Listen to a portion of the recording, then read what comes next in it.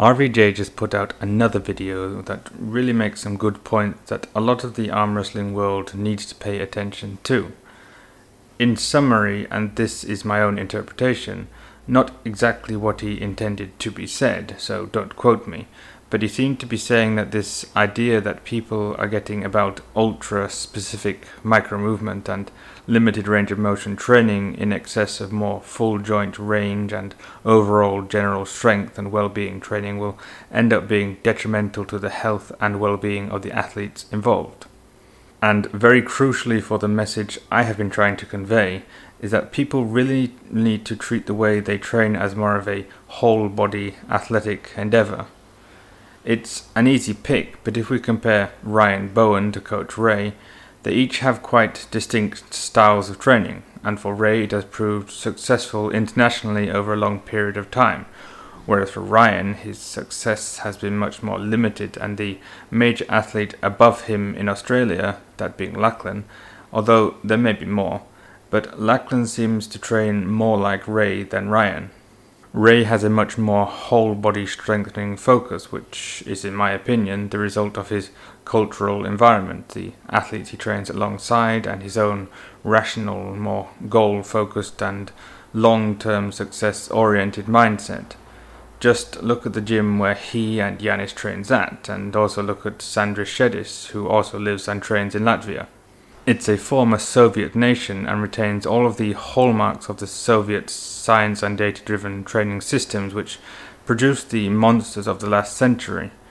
And now most of the modern monsters still train in the same places with the same equipment and the same mindsets. Whereas Ryan, as I have covered many times now, seems to drill down on a new micro movement every now and then convinced that this particular vector will prove to be the one which will unlock his ability to pin Levan. Now, of course, the term RVJ uses, athlete and athletic, is quite vague. Realistically, an athlete is not a specific type of strength or well being. Ryan is as much an athlete as Ray or RVJ are, technically. But it's pretty obvious what he really means by athlete. He means a person who is more well rounded and able in life and across multiple fields of sports, which almost all of the elite arm wrestlers I have seen coming from the East seem to be. In Russia, and I suspect many other Eastern Bloc countries, they even have the character of a sportsman, which in English typically just means someone who takes part in sports. But in Russia, a sportsman is much more of an able outdoorsman who is fit healthy, and proficient in many activities that they might encounter in the great outdoors. Physically, you can see a great difference between a person who has become ultra specific to a sport and a person who is more general and well rounded. In the sport of arm wrestling, as RVJ alluded to, you will see the shoulders rounded forwards and the chest tighten and collapse inwards because that is the position arm wrestlers spend so much time in on the table. But that does not mean that having that position by default leads to better performance in the sport. That position should be adopted voluntarily because the body has all of the supporting structure around it, like upper back and lats, to hold and support that position strongly. But once the body adopts that position by default, all of the muscles involved are stretched and shortened into positions semi permanently that mean they cannot function as they should do. A person who is chronically kyphotic and rounded forwards, like Ryan, is going to have a really hard time accessing true and fluent back pressure.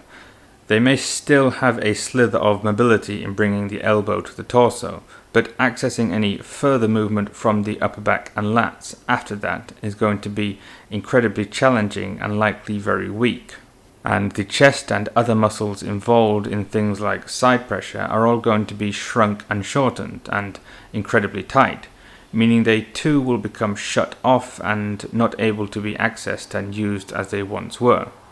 Whereas a person who moves more freely and fluently around the shoulder joint is going to be able to drag that entire arm back using the entire chain of back pressure in harmony and will be able to move and vary the way they apply it and their side pressure too. I think Ryan and Ray make a great example of this. Ryan, who may be very strong on his pulleys in specific angles and positions, when confronted with the mobile and adaptable Coach Ray, found himself immediately outmaneuvered and in positions he could not contest against, just the same as happened to him against Lachlan. Which is just as RVJ described, having no ability when you are pulled out of your narrow positions of strength which again is just as the Soviet weightlifters trained in the 60s, 70s, and 80s to strengthen all areas of weakness in case the bar ended up outside of the optimal path of strength. And in more modern fields, this is just how Westside Barbell trained, with the late Louie Simmons being inspired directly from the aforementioned teachings and studies of the Soviet schools. A chain is only as strong as its weakest link, and all of the best and most well rounded athletes understand this. Most of the best arm wrestlers in the world come from environments which require them to be active outside of just practicing on the table. A large majority come from Eastern Europe and Russia, where outdoor life and manual labor, even if done just for the benefit of the home life, makes up a much bigger part of the lifestyle than it does in a lot of the West especially in America, where many people interested in arm wrestling also work 9 to 5 jobs where they may not be at all mobile or athletic. And this is not limited to just this sport, it also holds true for American hobby powerlifters, weightlifters, or any other type of sport that has become trendy recently. You can see the push to become more healthy and active because that is what the marketers want those people to feel is a better life for them, with things like the outdoors, returning to tradition, primal living, etc., etc., which it may be depending on your definition of better. But the main thing those marketers seem to miss out on is that someone who has spent their lives up to that point of changing interest with a sedentary lifestyle suddenly deciding to become a professional athlete and starting immediately to train in the way a Bulgarian arm wrestler does, is going to end up with tremendous stress and strain on the body, and probably end up quitting from injuries. This is not to say that you cannot train like a professional athlete might, but you have to be a lot more intelligent and rational about how you approach it. It takes a long time to make real foundational changes to the body even anabolic steroids, which work relatively quickly, make mostly superficial changes which disappear quite quickly without them. And so you need that period of transition, of slowly titrating in elements of the lifestyle you want to live, otherwise, you'll be physically overwhelmed. Yes, as you become more advanced in a sport, the need for specificity increases as you need to find more and more ways to improve on what you have already improved upon.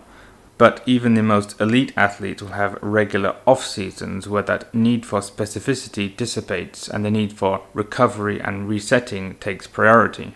If RVJ had an upcoming match with a tough opponent, it would certainly benefit him to train more seriously and with more focused intent. But if he is just coasting and enjoying himself, he can and really should train in as wide a way as possible, and he knows this fully well. Elite level sport is not healthy, whether that be through stress from training, physiological or pharmaceutical changes to the body, diet, wear and tear, serious injuries, etc. And you, even if you are the Levan of tomorrow, should spend as little time as necessary in that dangerous, most specific, and highest stress mode. How many serious matches have we seen Levan or Devon take part in since they met in July?